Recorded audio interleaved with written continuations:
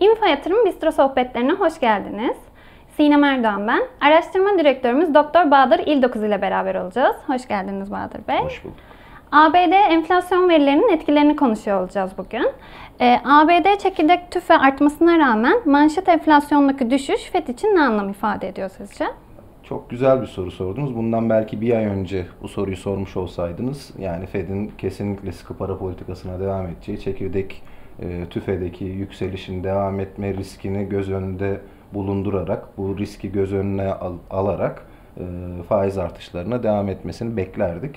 Özellikle de hatta belki işte 25 değil de 50 bas puanlık faiz artışlarına gitmesini bekleyebilirdik ama son yaşanan bankacılık kriziyle beraber özellikle de ilk iki hafta içinde yaklaşık 400 milyar dolarlık bir enjeksiyonda bulundular. Çok yüksek tutarda bir e, likiditeyi piyasaya enjekte ettiler ki Merkez Bankası'na plase edilen, gecelikte overnight'ta plase edilen tutara baktığımızda, bankalar tarafından plase edilen tutara baktığımızda da 2 trilyon doların üzerinde bir meblağdan bahsediyoruz. Buna rağmen 400 milyar dolarlık bir likitte enjeksiyonu söz konusuydu.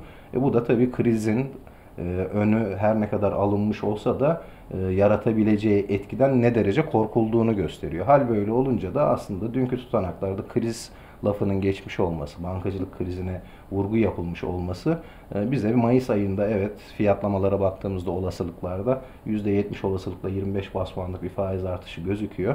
Ama sonrasında ise işte Haziran-Temmuz döneminden sonra ise Fed üyelerinden bazılarında söylediği üzere bir ara verilmesi hatta sonrasında bir faiz indirimine gidilme ihtimali ise şu aşamada oldukça daha baskın.